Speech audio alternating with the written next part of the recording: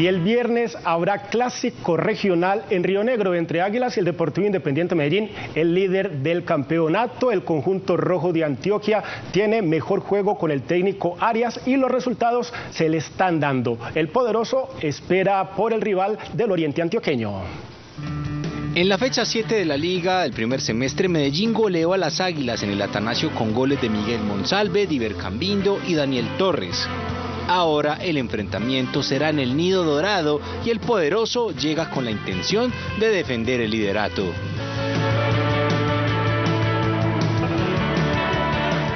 El equipo rojo suma 13 puntos en este torneo y mira a los demás equipos desde arriba.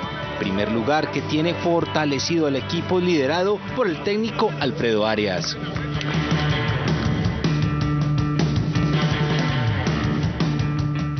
El poderoso se volverá a ver frente a frente con las Águilas y tratará de incrementar su ventaja en el historial, pues en el momento el registro marca 8 victorias para Medellín, 6 doradas y un empate.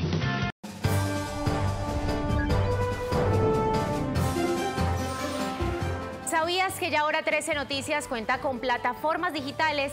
Escríbenos para que conozcas todas las opciones de pauta que tenemos para que puedas anunciar tu producto o servicio.